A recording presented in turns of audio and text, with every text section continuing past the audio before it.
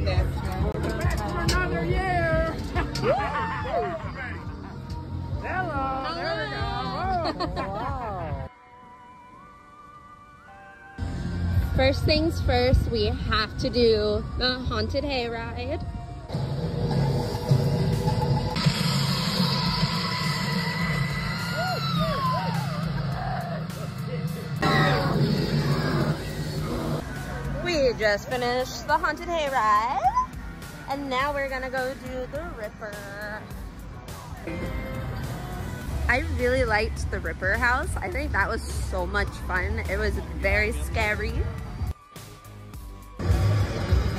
Hi, hi, Min. Min. Hi. What's your name? Jessy?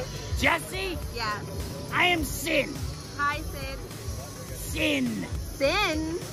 S-Y-N. Okay, it's time to go do our last house of the night.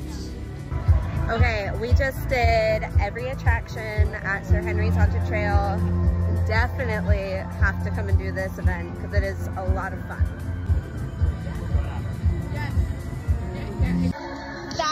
Sir Henry's Haunted Trail. I definitely say this is a 10 out of 10 event. You have to do it if you love getting scared, you love the ambiance of being in a haunted environment. It's definitely worth it.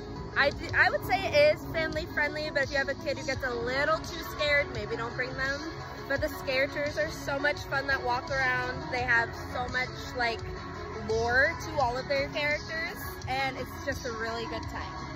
So make sure you follow for more Halloween and